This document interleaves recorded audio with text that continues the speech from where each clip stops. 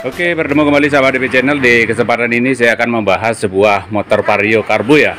Motor ini itu sudah berapa kali masuk bengkel teman-teman, tetapi motor ini permasalahannya kata pemiliknya itu tidak pernah ditemukan permasalahannya. Nah, apa masalah motor ini? Itu sebenarnya begini. Motor ini itu jika dibawa di jalan yang kondisinya bagus, itu di daerah perkotaan itu tidak pernah ada masalah. Tetapi begitu dibawa di jalan di daerah saya ini yang memang uh, sedikit jalannya itu ya agak sedikit bergelombang teman-teman. Itu ada jalan yang rusak. Motornya ini motornya ini tiba-tiba saja uh, berbat ya. Berbat dan mau mau mati. Kadang-kadang sampai sampai mati nih uh, sampai mati. Dan sudah dibawa ke bengkel beberapa kali. Permasalahannya belum ketemu. Saya sih sebenarnya maklum teman-teman. Bukannya saya mau menggurui bahwa saya paling tahu tidak sebenarnya ya tetapi karena saya pernah mengalami permasalahan motor seperti ini, jadi saya berasumsi ada satu hal yang bisa menyebabkan hal tersebut terjadi. Tapi sebelumnya, saya akan coba hidupkan dulu motornya teman-teman, biar teman-teman tahu bahwa motor ini itu hidupnya bagus ya.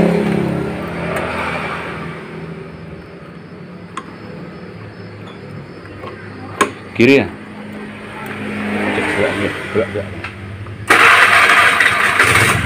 Gitu.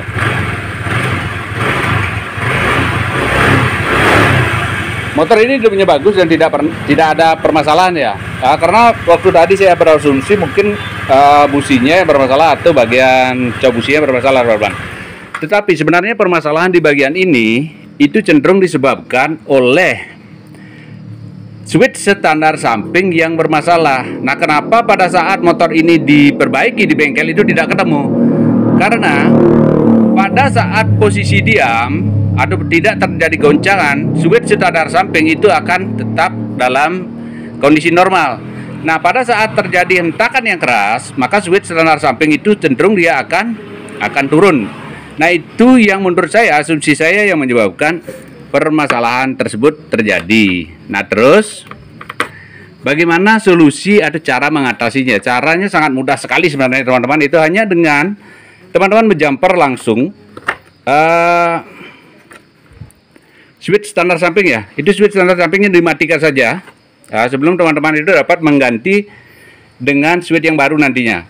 Itu kita matikan saja dengan cara teman-teman mengecek kabel yang ada di bagian sini ya. Ini, ini akan saya tunjukkan kabelnya dan bagaimana cara menjabarnya nah teman-teman ya ini adalah bagian kabel yang dari switch standar samping teman-teman. Tadi udah saya selusuri ternyata ini bagian atas. Ini adalah uh, chopnya ya yang berhubungan ke switch standar samping. Jadi caranya sangat mudah sekali. Teman-teman tinggal membuka chopnya ini.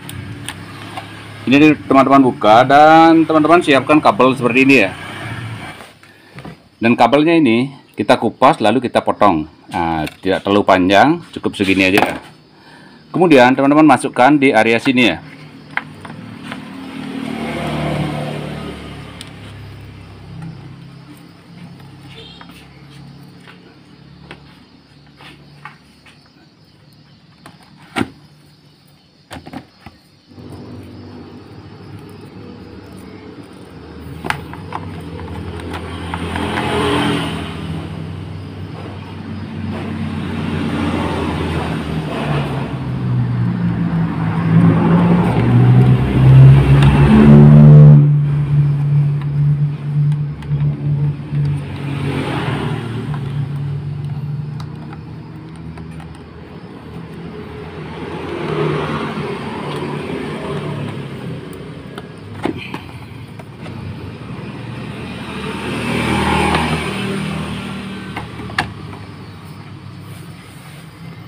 Nah, oke okay, teman-teman. Jadi uh, seperti itu kita akan coba dulu apakah masih standar sampingnya masih berfungsi. Coba coba coba Gus itu Gus.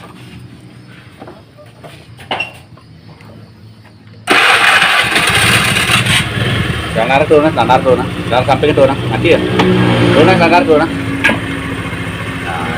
Jadi walaupun standar samping yang kita turunkan itu motornya tetap masih hidup. Artinya ini kita nonaktifkan dulu karena ini adalah uh, sistem atau trek dadakan teman-teman. Karena ini kan udah malam jadi kalau teman-teman ingin mengaktifkan kembali standar samping itu teman-teman bisa nanti mengganti switchnya dengan switch yang yang baru seperti itu. Saya akan pasang dulu dan kita akan coba. Apakah prediksi saya ini benar ataukah masih ada permasalahan lain yang menyebabkan permasalahan pada motor ini ya Nah, yang terpenting sekarang adalah saatnya untuk mencoba. Nah, ini akan dicoba langsung oleh pemiliknya, teman-teman. Apakah permasalahan ini masih ada? Karena memang sangat menjengkelkan motor-motor seperti ini sampai nah, pemiliknya uring-uringan mau dijual murah-murah katanya. Ya, kita akan coba, teman-teman. Mudah-mudahan permasalahan pada motor ini segera dapat teratasi dan pemiliknya dapat dengan nyaman membawa motornya. Ya, coba, Gus, bagus. Langsung ke jalan, Pak. Langsung ke jalan. Nah, nanti akan coba di, dibawa di jalan yang rusak. Padahal ini sudah cukup malam, teman-teman. Ini sudah jam sekitar jam tujuan ya, jam 7 jam setengah delapan. Jadi yang bawa juga anak perempuan, kasihan sekali ya. Oke. Nanti kita akan coba cek apakah permasalahannya itu masih ada atau tidak ya. Nah, oke teman-teman itu masih dicoba karena di sana ada uh, rabat rabat beton ya. Jadi masih dicoba apakah permasalahannya itu masih ada atau tidak ya.